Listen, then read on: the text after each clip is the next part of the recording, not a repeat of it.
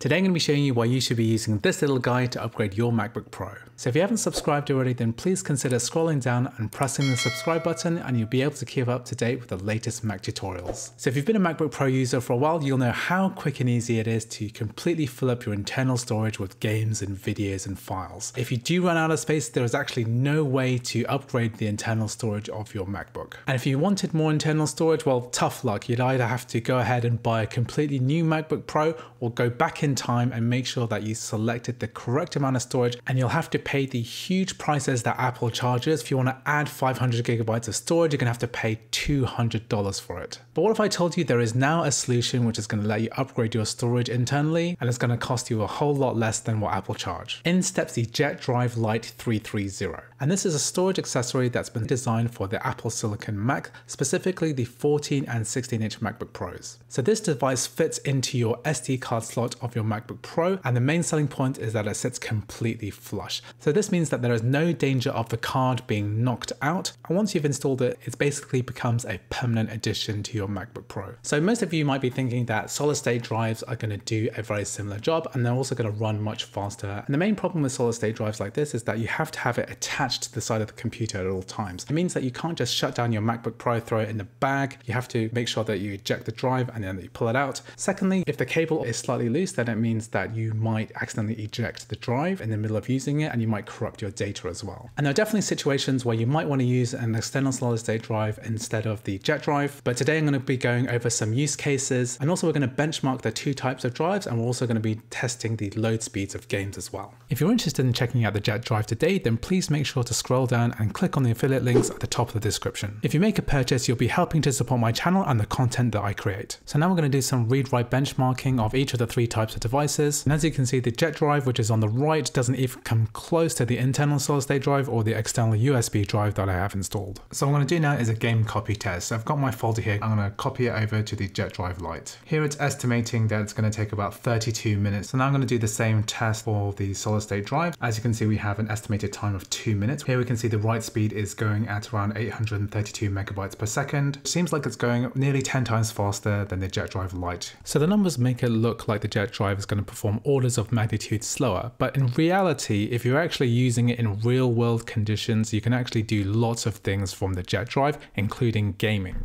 Here we're running GTA 5 through crossover on the M1 Max chip and there are no issues or stutters with the actual frame rate and it runs fantastically directly off the SD card in the JetDrive. Here I'm doing a campaign loading test in GTA 5 single player and you'd be surprised to see that there's actually very little difference between the internal, external and JetDrive itself. And this is only 10% slower than the internal solid state drive which has a theoretical maximum speed which is much higher than the JetDrive. So it's interesting to see that this device device has a maximum read speed of 95 megabytes per second and a write speed of 75 megabytes per second. That's because the new MacBook Pros can actually run at UHS 2, which is much faster than what the JetDrive can offer. So having a JetDrive that could reach say 312 megabytes per second sounds nice, but it doesn't necessarily offer any actual benefit over the current version that we have today. The JetDrive Lite 330 is a perfect place to store large files like big games, your Steam library, loads of videos and media files too. Anything that doesn't require very fast read or write speeds. You're not going to be editing 4K video on this, but for virtually everything else, this is going to be the perfect place to store it.